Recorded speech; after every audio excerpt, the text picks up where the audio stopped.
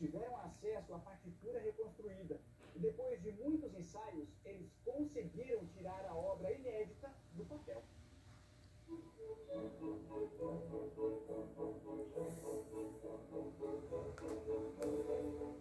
A peça completa tem oito minutos de duração e revela um novo lado do compositor. E essa é justamente uma peça instrumental para orquestra completa, né? Muito a gente mas Carlos, vamos não escreveu nada para orquestra